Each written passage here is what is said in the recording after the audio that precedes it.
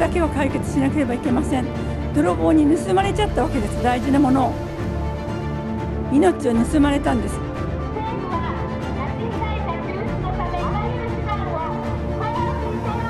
15年前、え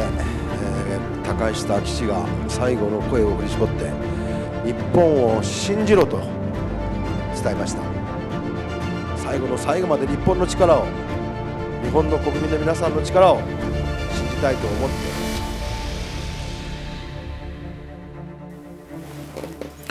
こんばんは。拉致問題話の時間です、えー、私は家族会の増本です、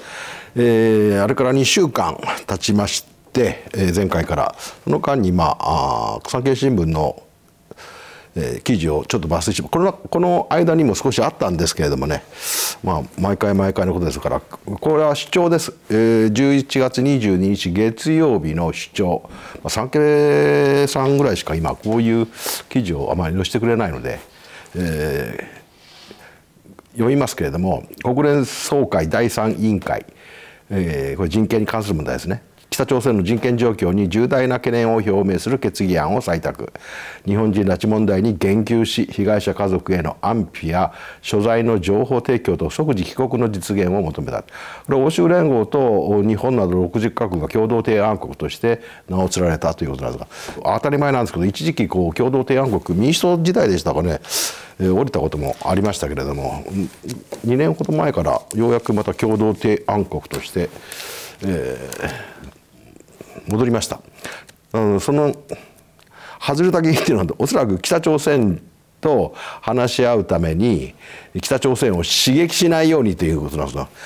北朝鮮刺激しないでこの問題を持ち出せるわけがないのでどんどんどんどん刺激してもらいたいとは思ってるんですけどね。えー、で、えー、この共同提案として名を連ねた。投票は行われず12月に国連総会本会議で正式採択されるっていう。えー、北朝鮮の外国人拉致を組織的な人権侵害と断じた国連総会決議がなされてこの時には投票でした。で17年連続となってるんですがもうあの17年連続でこれ決議案やっても結局は北朝鮮がこれに応じていないということなんですけどね。拉致問題の非道も被害者家族の訴えやトランプ前大統領が国連総会演説で取り上げたことなどで問題意識が高まったということでしょう。あの欧州各国それから、国連での問題意識が高まって決議案は被害者家族の高齢化が少中被害者と家族が長年にわたって苦しみを経験している重大な懸念を表明。このように具体的にあのこういう表明を懸念を表明していただいたのは非常にありがたいと思います。世界にとの連携の中で、うん、拉致問題を解決するというのはね。でそれに対して北朝鮮外務省は我が国のイメージに泥を塗ろうとする重大な主権侵害行為で強力に糾弾排撃する。でもこれ事実ですもんね。はっきり言って。北朝鮮が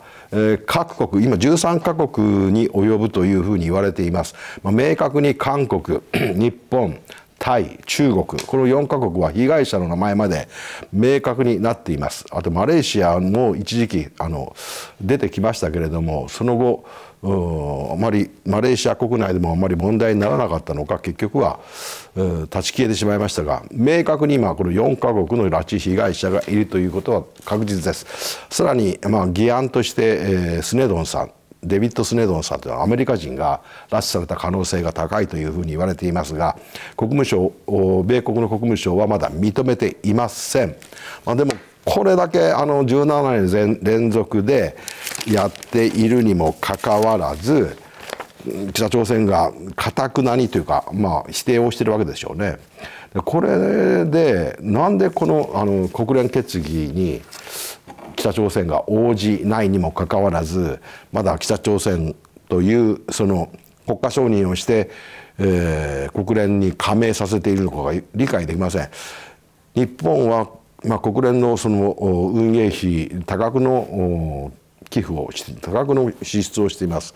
その拉致被害者のいる日本国であるにもかかわらず、うん、国連という組織があまり機能していないのであれば少し考えていかなければならないのではないでしょうか。私はもうあのそういう制度があるのか分かりませんけれども北朝鮮がこれだけ、えー、国連の非難決議に反発し遵守しないというのであれば国連の加盟組織から抜けてもいいと思ってるんですよね。除名させてもいいと思ってるんですけども除名というあれがないんでしょうか。自分たちの意思で、えー、抜けるという意思表示をしない限り国連というのは除名ができないんでしょうか？それでは紛争の解決は全くできないのではないかと思うんですけどね日本は国連主導主義とか言ってますけれどもでもやはり自国の国民の命を守るために国連という組織を使ってでもあの北朝鮮に、強く訴えていくべきではないでしょうか。で 同じ月曜日のこの正論李相哲さんが書かれておられますけれどもこのムン・ジェイン、えー、ムン・ジェイン大統領終戦宣言というふうに言ってますが非常に危険な賭けだというふうに言われております。北朝鮮の非核化なしには制裁緩和も平和協定もありえないという認識とは相反するということですね。まあ、まず第一にこの、まあ、休戦宣言もそうなんですけども北朝鮮政府が南朝鮮今の韓国ですね。韓国に攻め込んでいった突然攻め込んでいったというのが朝鮮戦争の始まりでありそれを連合国があまあ応戦したという形ですね。最初は非常にあの劣勢に立たされた連合国軍でしたけどもアメリカが指揮しそして連合国として北朝鮮を38度線の北に追い込んでいった。そこに中国が参戦したということなんですがで休戦宣言の時には連合国軍とそして北朝鮮人民軍とさらに中国のその有志ですね。この3者による休戦協定があったわけで実際は韓国はこの中に入っていないんですよ。ですから文政権かムン・ジェイン大統領がいくらその終戦宣言をしたいというふうに言ってもその枠組みの中に入っていないわけですから当然枠組みの中に入っている連合国すべて12カ国というふうに書いてありますが、えー、全全ての国の了承を得なければならない。説得しなければならないにもかかわらずもうあの突っ走ってるというのがムン・ジェイン政権でしょうね。えー、皮肉皮肉にも今や北朝鮮が終戦宣言について前提条件をつけているということですね。ムン・ジェイン政権はもう何にも条件なし前提なしで終戦宣言しようと言ってるにもかかわらず北朝鮮は前提条件として米韓合同軍事演習の中断。北朝鮮の鉄鉱石や石炭の輸出。石油製品の輸入を許可。というふうにもう前提条件をつけてきてる。相変わらずそのなんとかな物乞い外交ですよねはっきり言って。それを続けているにもかかわらずこちらサイドから動く必要はない。ということを分かっていないムンさんは。もうあのこの終戦宣言に関しても北朝鮮中国ロシアが望んでいる方向で、えー、言ってるだけですからこれには決して、えー、応じられない日本も当然それには応じられないということを強く言っていかなければならないと思います。これに対してあまり日本政府はあ、まあ、終戦はいいことだというふうには言ってるでしょうけど今北朝鮮の現状をはっきりとあの公表しそして、えー、ミサイル核、問題も含めて、えー、しっかりと言葉を発していかなければならないという現状だと思います。で同じ22日の新聞にこれ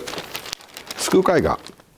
出したものらしいですね救う救い出す絶対に一面広告として、えー、出しております、えー、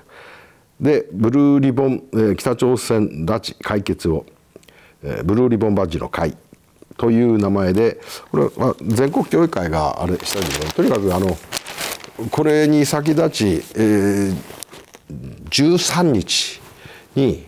えー、北朝鮮に拉致された日本人を、うん、救出するための全国協議会の大集会が開催されておりますがその際に日本政府それから地方自治体に、え、要望しております、え、知事の会宛てには北朝鮮人権問題におけるブルーリボン着用についてかねてより拉致問題解決のため、えー陣頭に立ってご尽力をいただき心より御礼申し上げます。また北朝鮮人権侵害問題啓発週間北朝鮮、えー、人権週間の趣旨にふさわしい事業を実施され拉致問題その他北朝鮮当局による人権侵害問題に関する国民世論の啓発を図るよう努めてくださっていることに深く感謝申し上げます。家族会、えー、と救う会は運動方針の重点項目の一つとしてブルーリボン普及に取り組んできましたブルーリボンブルーリボン、えー、普及運動は今年4月の日米首脳会談で、えー、米側出席者である国務長官大統領補佐官インド太平洋調整官がブルーリボンバッジをつけて出てくるという成果を上げましたまあ成果なのかどうかは分かりませんが、えー、この間この間えー、首相以下が外交の第一線でブルーリボンバッジ着用を行った結果です。これは菅政権の時でしたね。私たちは来たる12月の北朝鮮人権週間に閣僚国会議員地方自治体首長地方議員の全員また多くの国民がブルーリボンをつけて救出への意思を示すことを国民運動として呼びかける所存です。知事の会、えー各位におかれましてはこれまでブルーリボンをつけて救出の意思を示してくださっていますがより一層強い意思を示すため北朝鮮人権週間に率先してブルーリボンを着用してくださるとともに都道府県内の市町市区町村長をはじめ多くの皆様にブルーリボンを着用を呼びかけてくださいますようお願いいたします。あとこれは地方議員連盟地方議連宛にも同じような文面であのブルーリボン普及運動着用をお願いしておりますさらにアニメ「めぐみ学校上映拡大運動」において新しい動きが生まれています。地方拉致議連の一つである大阪拉致議連が、えー、府議会と市町村議会で、うん、北朝鮮による拉致啓発事業を進める決議を次々に実現させています。これまで政府に早期解決を求める、えー、意見書の採択は多数行われましたが啓発事,、えー、事業決議は今回が初めて。これは足立区が一番最初にやっていただいたんじゃなかったですかね。で大阪府議連がそれ大阪府議連がそれをまたあなそれに連動してこういう決議をされたということでしょう。拉致被害者の救出のための国民運動をより強化するため以下の要請をいたします。1北朝鮮人権週間に、えー、首長と地方議員の全員がブルーリボンをつけて救出の意思を示すことアニメ「めぐみ」上映を初めてする北朝鮮による拉致啓発事業を進める決議を地方議会で行うことこの2項目を呼びかけております。まあ、これに対してあのすぐ即座に呼応するところもありますけれどもやはりあのつけるつけないはその個人の自由というふうに言われてるところもありますので、えー、本来ならばその県職員、えー、それ市職員、えー、村職員、えー、全てにつけてその人権週間の間だけでもですよ12月10日から16日この1週間、うん、その間だけでもとにかく手作りでもいいんです別に。あの印刷でもいいです。ネームのところにあのブルーリボンをつけるとかねそんなものでもいいんですけれども、まあ、とにかくそういったことで、えー、拉致問題の啓発拉致被害者救出の機運を高めていただきたいという思いで、えー、やってきております。で今日は一番問題なのはですねこれなんです実はその13日行われた全拉致被害者の同時一括帰国を求める国民大集会において、まあ、一部二部構成があったんですが一部あの、うん、総理えー、岸田総理それから松野官房長官さらに飯塚代表が主催者挨拶をされて家族の訴えとして早紀江さんがあ訴えておられます。まずその VTR 早紀江さんの訴えをご覧いただきたいと思います。それでは VTR よろしくお願いします。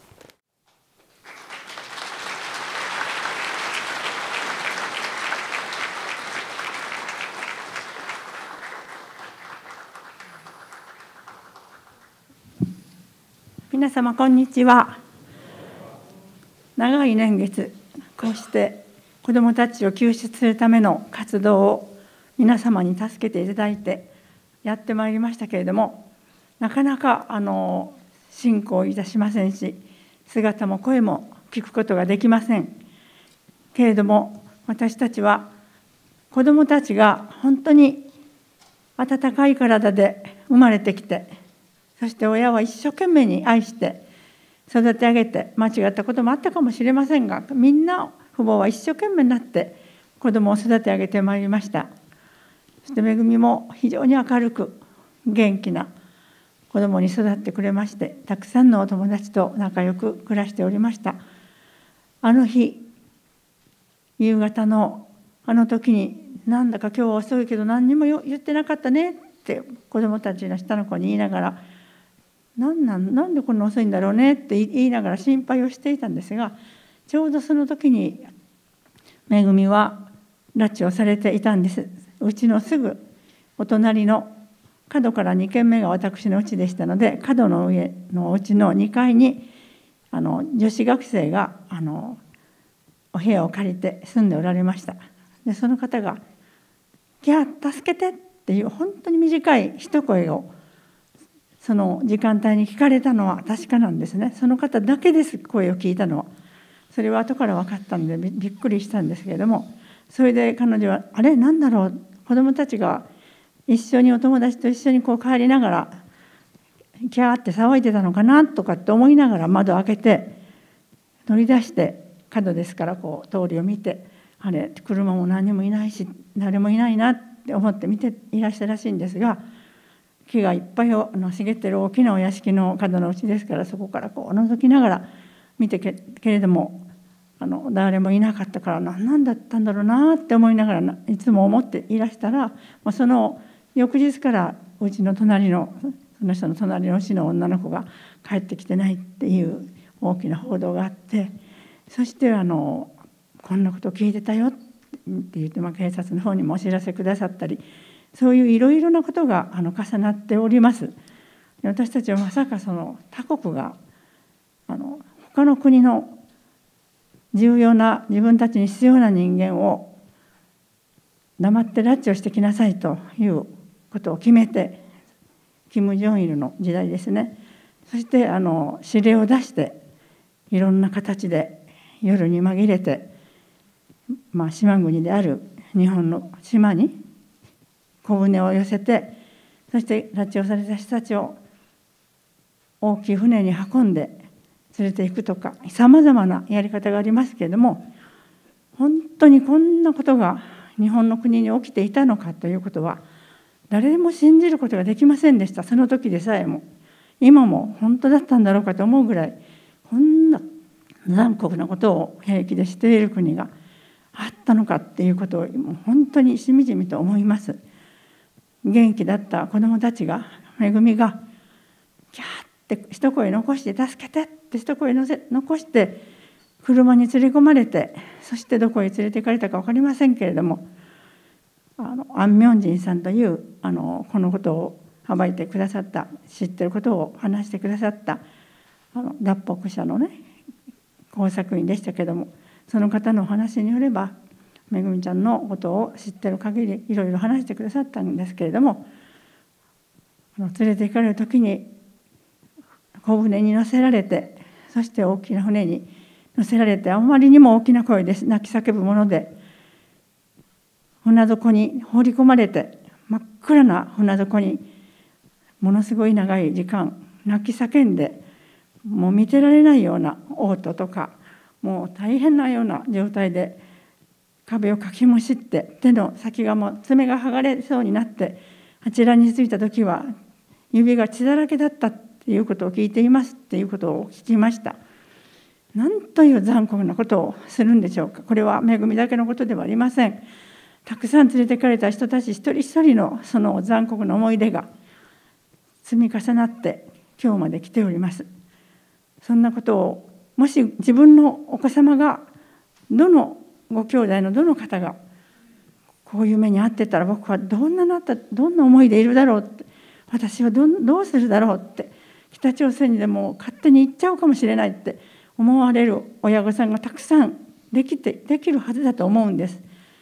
これは本当に日本国家の問題であり父母の子供への思いどんなに親が言われようが何しようが大事な子供たちを最後まで守るその子がどうかなったんだったら何をしたらいいんだろうかってやっぱり誰でも考えてくださると思います。そのことが発端となってこうして大きな会が出来上がり国民の全部の方々がたくさんの方が何年も何年も署名活動を続けてくださり今もどこででも署名活動を街で何人かの少ない人たちが雨の日も雪の日もめぐみさんたちを助けてくださいって言いながら自分の子だったらどうするだろうかと思い思いで頑張っててくださるんだと思っています。そのことをはっきりとした事実があるにもかかわらず岸田総理大臣で12人目の総理大臣を迎えました。これだけの立派な総理大臣が11年も長い間日本の国を治めながらなぜもっとたくさんの人たちと一緒に心を合わせて本当にあの国は許せないという思いでもってこちらの言葉をしっかりと向こうに伝えて何らかの良い知恵を出していただくことができなかったんでしょうかと私はいつもお話をさせていただいております。もう恥も外部もありません。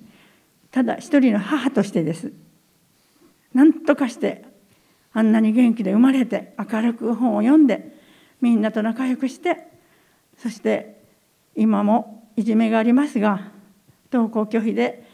いじめにあって学校に行けなかった近くの男の子を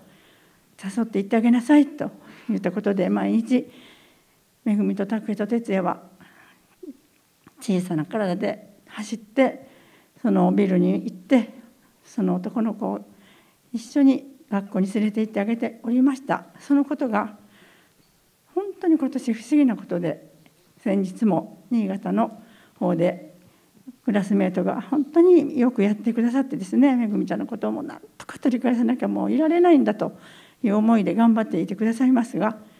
その男の子が今校長先生になってるんです。いじめにあってもう本当に可愛いもうおとなしい男の子であって泣いてばっかりいたんですけど大丈夫やって言ってめぐみちゃんが一緒に連れてってくれてですね2人が後ろからずっとついて学校に行ってまして「ああ忘れ物しちゃった僕忘れ物しちゃった」って途中で。また帰ったらもう一緒になって走ってめぐみちゃんも「はい頑張ろう行こう行こう」って言って取りに帰ってくれたんですよって。言って今でもあのお母様に涙を出すんですっておっしゃってましたがその会でその校長先生になられた方がその学校の小学生たちに500名も集まってらしたんですがその話をしながら本当にめぐみちゃんのことを思うと僕は涙が出るんですよって言って本当にポロポロと涙を流されたそうです。もうそのことで生徒たちがもう感動してなんとか救わなきゃダメだって本当に先生は偉いねって言ってくださったんですよなんて言いながらまた後でお電話をいただきましたけれども人間のつながりというのは形式的なものではありません。地位とか名誉とかそういうものは後のことです。親の心っていう人間としての大事な魂を体を大切に育て上げるそのことに尽きると思っています。13年間しか育ててあげることができなかったことを私は本当に悔しいです。どんな女の子になって何になってたでしょうね。バレエもやってましたし書道もやっていましたしいろいろ勉強も好きでした。本も好きでした。きっと歌を歌ってたかもしれません。いろんなことを思いながらお父さんがもういない。あんなに元気で頑張ってくれたお父さんが今は小さな箱の中に静かに眠っています、はあ、人間っていうのはやっぱり生きてないといけない。とにかく知性がある人間の体の一生懸命の間にできできる限りの大事なことをしておかなきゃなんないっていう思いをいつも持ちながらお父さんの箱を撫でております「お父さん今日も行ってくるからね」って「まだめぐみちゃん帰んないけど総理大臣も頑張ってくださるからね。行ってくるね」っていつも声をかけて今日も出かけてまいりました。必ず心が結集した時に日本は素晴らしい日本に変わっていくと思います。そして北朝鮮がこんな国にならなきゃいけないのかもしれないって早く気が付いてくれくださればどんなにいいかなと思いながら今年も頑張ってまいりますのでどうぞよろしくご支援くださいますようにお願いをいたします。本当にありがとうございました。この早紀さんの訴えをもうあの前列で聞いてたはずなんですよね。あの国会議員の方たち。であの岸田総理もその場にはいらっしゃいました。一部が終わるまでずっとその場にとどまっておられましたので聞いていらっしゃいます。そういう話を聞いた後この鈴木宗男さんというこれ維新の会の参議院議員ですね。あ皆さんご存知のようにあの鈴木宗男さんは元、えー、自由民主党の衆議院議員北海道何区でしたかね。選出の衆議院議員でしたけれどもあのその方が維新の会の代表として、えー、この場に出席されそして発言をされております。加藤さんを持ち上げてるのはまあいいんですけどね、えー、今自民党さん立憲民主党さん公明党さんからお話がありました。拉致問題を解決するその思いは皆一緒です。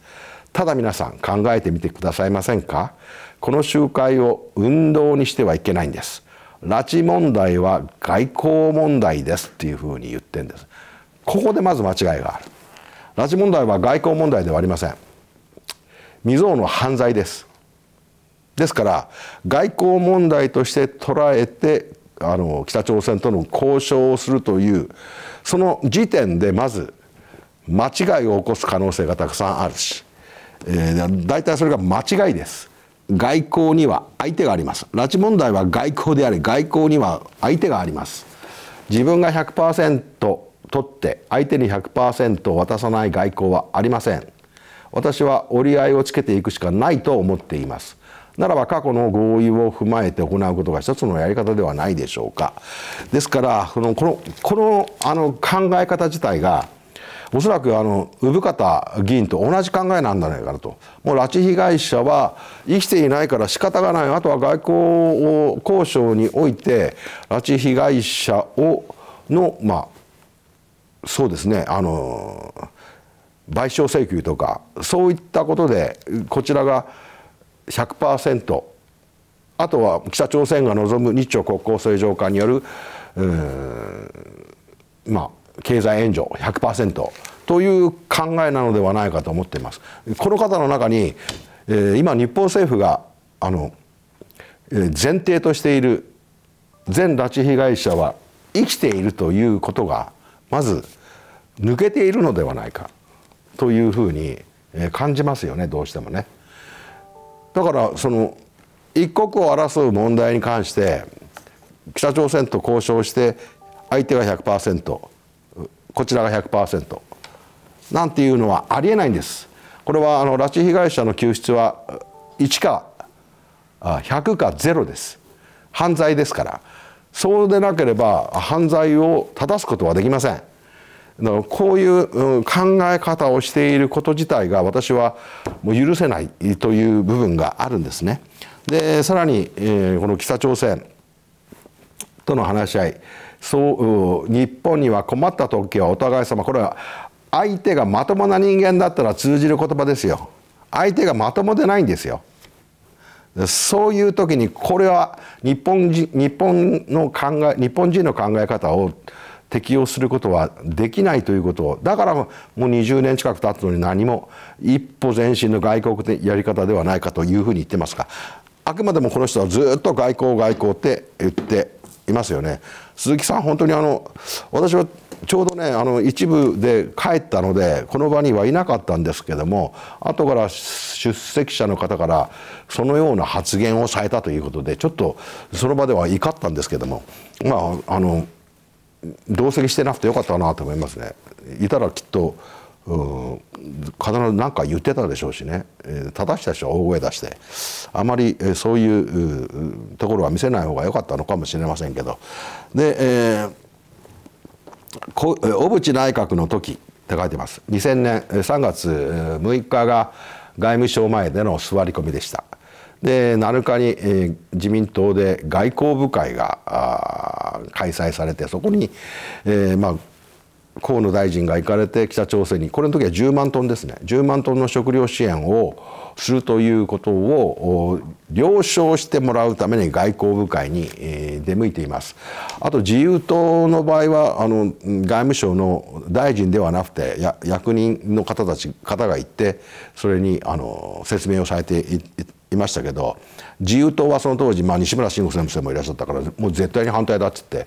否決をされています、えー、でも自民党の場合はあこのこれ50万トンの人道支援を行いました。これはねこの時にはまず最初に10万トンだったんですよ。10万トンで様子を見ておそらく世論の反発がどの程度あるのかというのを見てみたかったんでしょうね。だからその10万トンという。でもその秋には50万トンをやっています。計60万トンです。でそのおそらく10万トンの食料支援をやるときに、まあ、新北団体の方からは人道的北朝鮮の人たちが困っているんだから当たり前だろうという論調もいっぱい出ました。和田春樹さんなんかはその最たるものでしたけれども、えー、それで、えーまあ、私たちは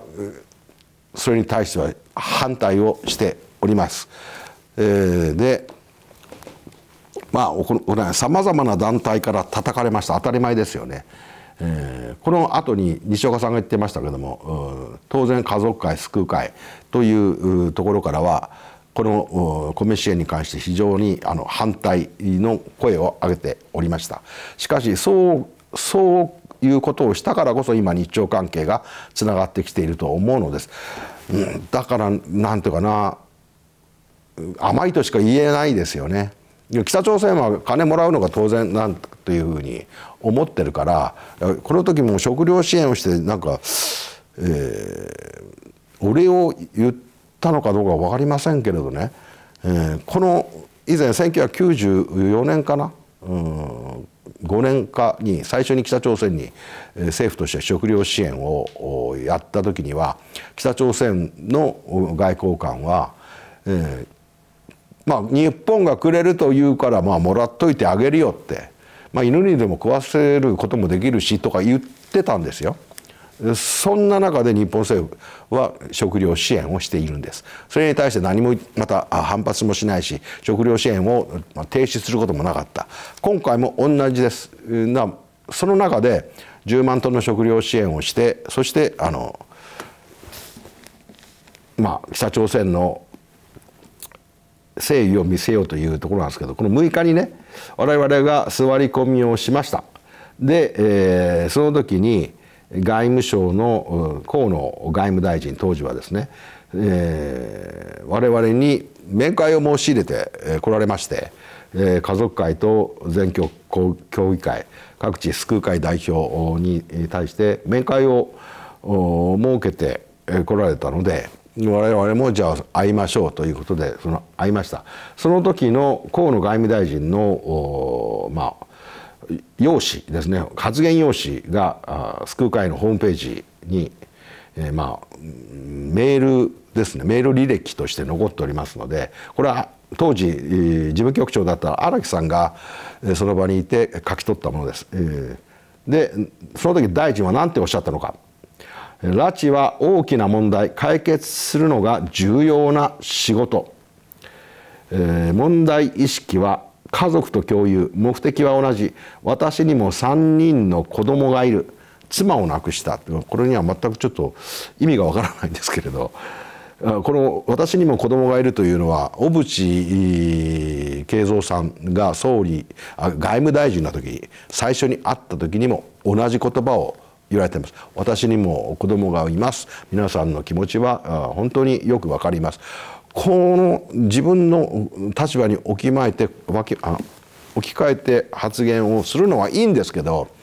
でそれでも何もしなかったという歴史がありますのでねどうもこの私にも子供がいるというこの発言がもうその後もたびたび聞くんですけどもね何の意味もないんだろうなと思ってますよね。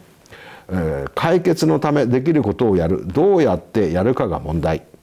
えー、力ずくではダメ。唯一話し合いでやるしかない。なんで力ずくではダメなんでしょうか。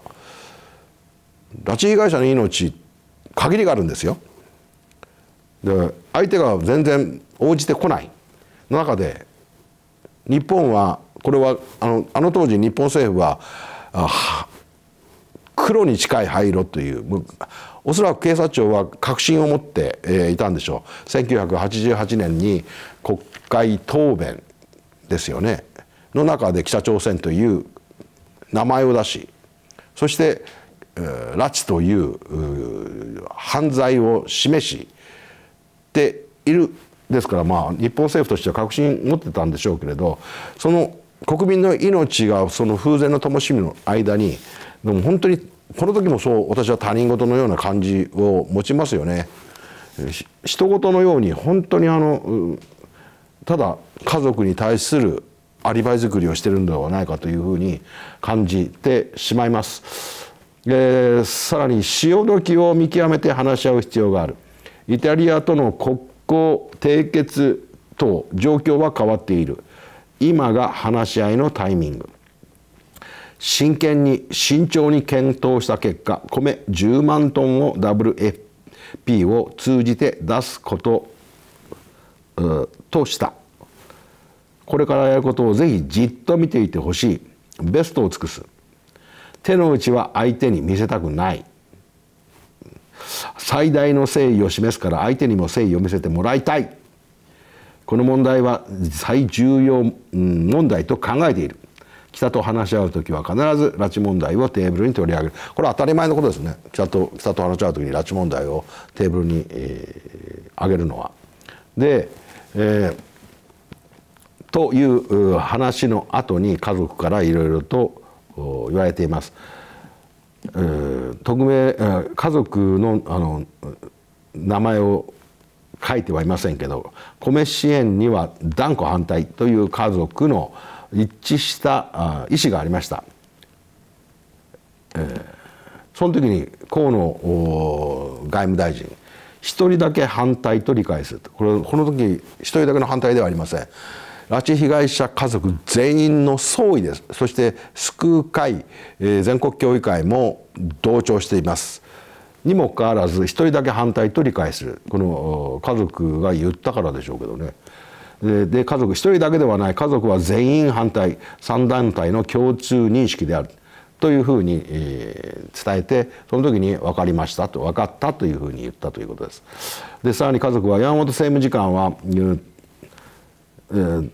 訪れる家族により発言内容が異なり誠意がない至らぬ点があったらお詫びしたいと河野外務大臣が言ってますこのこのうん。まあ、今群馬県知事になっておられますが山本一太さん政務官外務省の政務官の時に米10万トンの食料支援をする前に全国の家族を回って説明をしています。その時にある家族にはえー、絶対に食料支援はやりません。うちにも言ったようです。で親父の話を聞いた時にはあの時は食料支援はせんって言ってたんだけどなって。それから1週間も10日もしないうちですよね。読売新聞が外務省の米支援派、うん、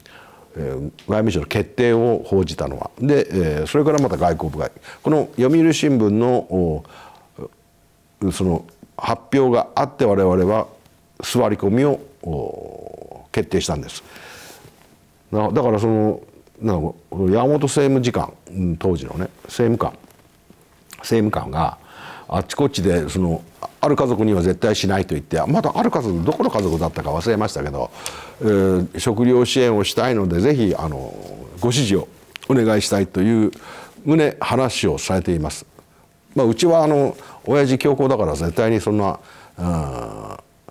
食料支援などには反対だというふうに言うでしょうからね。どっか融和的な家族がいて、まあ、丸込めると思ったんでしょうねきっとね、えー、食料支援に、え、支持を訴えた場面がありました。で後からその家族が集まってうちはこうだったこうだったっていう話になりましてね。それは違うだろう。一貫してないじゃないかということで、えー、批判したことがありましたけどもね。えー、で家族から米支援は外務省が決めたことか他からは圧力なかったかというふうに聞いたんですが、えー、私が考え私が決めたことであるというふうに大臣はおっしゃいました。そんなこと自分が決めるわけないですよね。この時にあのやっぱ野中宏さんという大幹事長というか、まあ、あの強い力を持った幹事長がおりまして、えー、皆さんご存知のように、えー、北朝鮮融和派です新北の方で、えー、北朝鮮に食料支援をすべきだというずっとそういうあの考えをお持ちだったのではないでしょうか。ミサイルが発射された時にもそのあの時はこう高村外務大臣でしたけど高村さんは人物金を止めるべき止めることを検討するというふうに1998年だと思いましたけどもあのおっしゃいましたけれども、うん、野中さんはそんなことはおっしゃっておられません。で家族から日朝議連の一員である大臣がどうして交渉できるのか私もこの日朝議連の一員だ河野洋平さんが日朝議連の一員であったのかどうか分かりませんがまああの方のスタンスからするとだったんでしょうね。これに対して日朝議連は両国の友好を願う議員の集まりであり関係ないというふうに、えー、おっしゃっています。で自分は決めたと、えー、家族の中からテポドンでは制裁した。なぜ拉致問題で制裁しないのか。これは私が言ったんじゃないかなと思いますけどもね、えー、そう。たかたかまあテポドンというそのミサイル実験ですよね。そのミサイル実験が行われてこれはそれ日本国民の大多数の安全に関わる問題だから制裁してやめさせようとしたのか。でももうすでに200人近い人たちが日本の国民の命が拉致という犯罪によって連れ去られてそして危うい状況になっているにもかかわらず一切制裁をしないんですよね日本政府はね。本当にあのそれであのこういう話をささせていただきました。で救う会おそらくこれはあの会長だった佐藤さんだと思いますが米を出しても成果がなかったら責任を持つか次回は出さないかに対して100%確信があるわけではないが最大の誠意を示して最大の誠意を得たい。という誠意が得られなければその時に次の手を考える。という大臣の発言がありました。しかしこの食料支援をしても結局2000年の時点で3月ですよね、えーまあ、春に食料支援をして秋に50万トン食料支援してであの何の誠意も見せてくれなかったというか北朝鮮が拉致を認めることはありませんでした。当時からも我が国は我が共和国はそのような拉致などという非道な行為を行わないというふうに言い続けていましたからね。まあそういう結果しか生まれていないにもかかわらず次の一手を打つことはしておりません日本政府は。で河野外務大臣も何の責任も取らずに最終的には、えー、外務大臣まあ内閣改造の時に外務大臣を降りられたんですがこのそうそういうことをしたからこそ今日朝関係がつながってきていると思うのですというふうなこの認識が間違えていると思いますね。えー、そのことに関わってきた政治家の一人として私は今日ここにいる政治家とそれなりに経験もしているというふうにおっしゃってますが確かに関わってはいらっしゃいましたねあの食料支援には。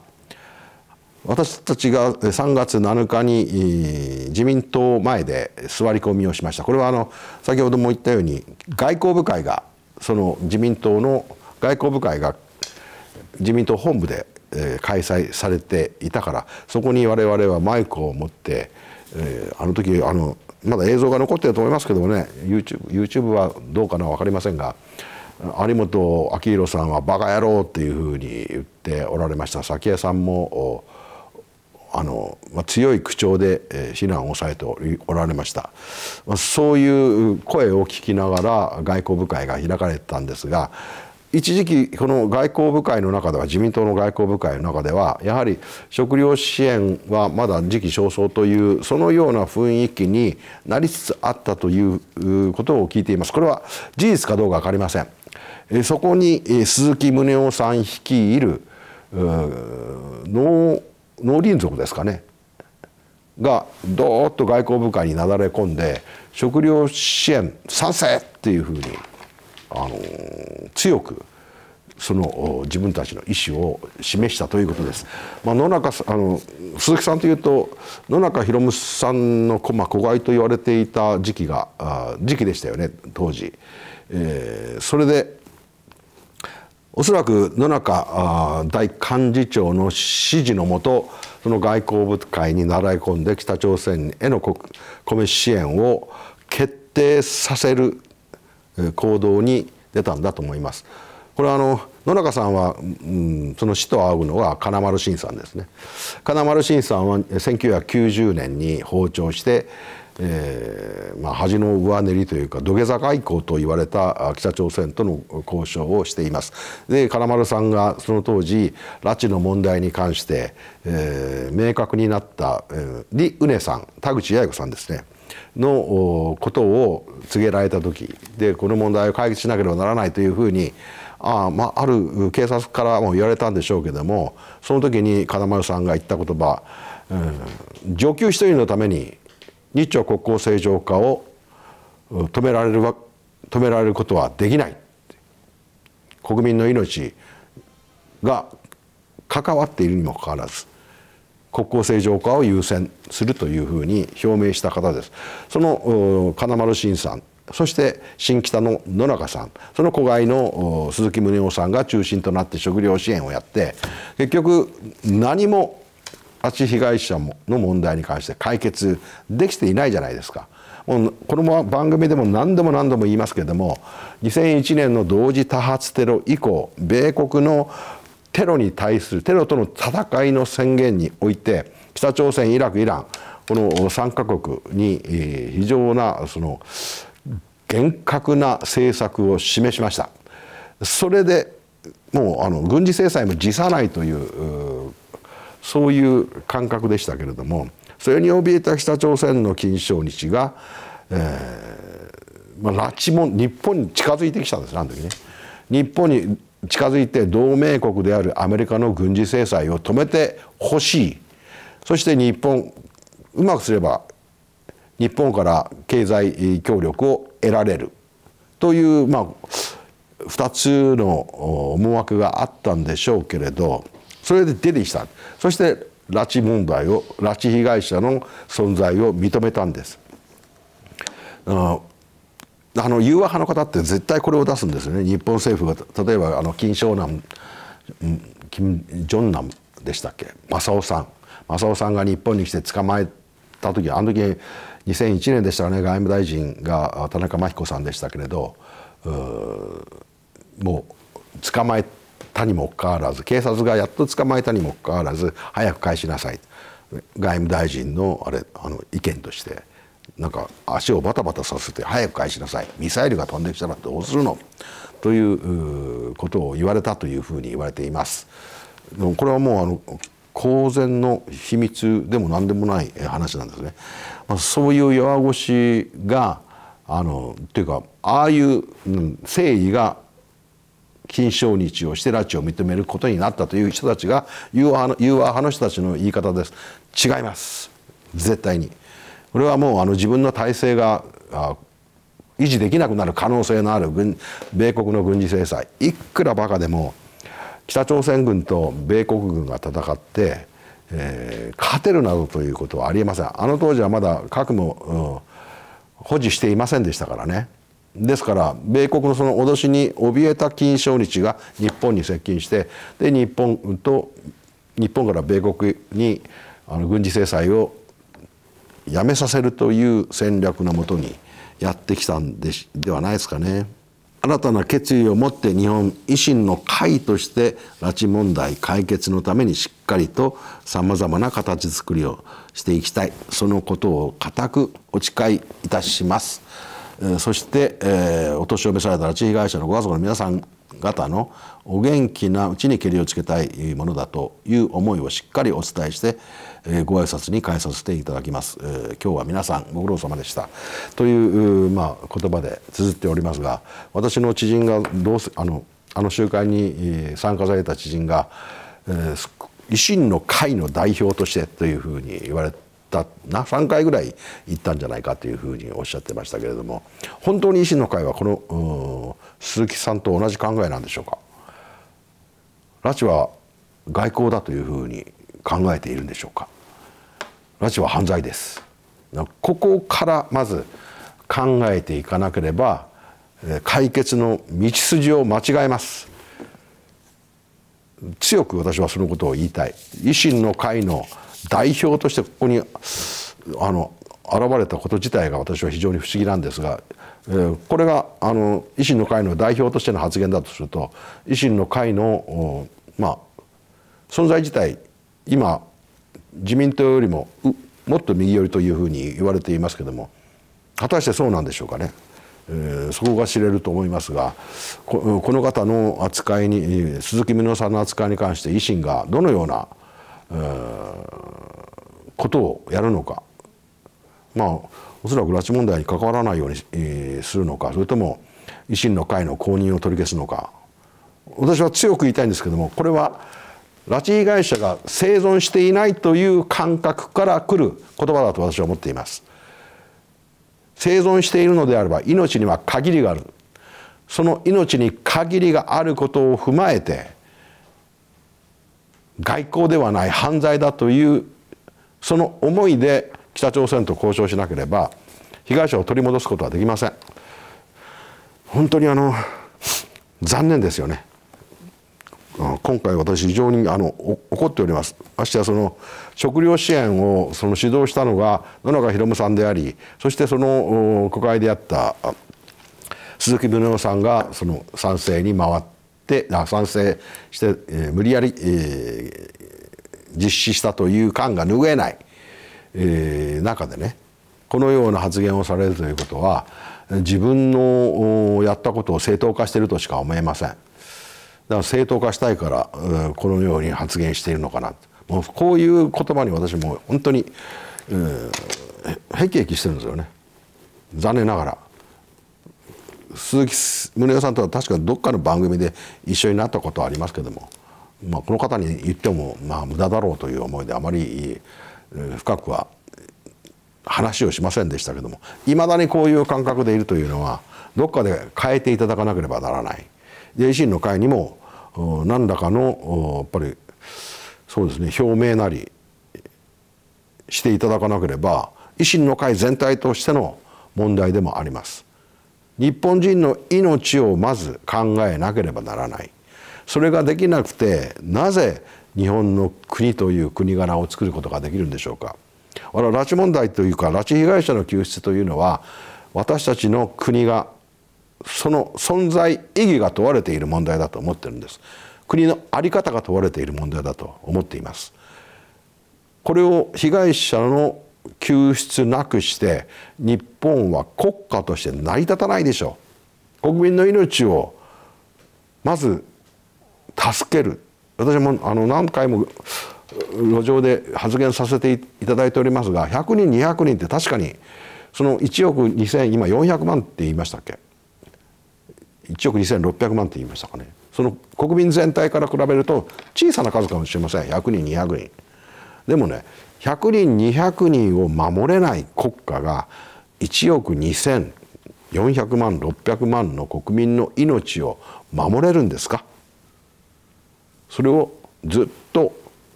問うています。守ろうとしてるんですかと。100人200人を守ってこそ初めて日本は国民を守る守る国だと世界中から認識されるのではないか。そう思っています。とにかく、えーまあ、残念な集会になってしまったようですがこれに対してまあ即座に西岡さんも多少の発言はされていますけれどもまず拉致問題は外交問題ではないということを皆さんに強く強く訴えます。それでは今日はこの辺で失礼いたします。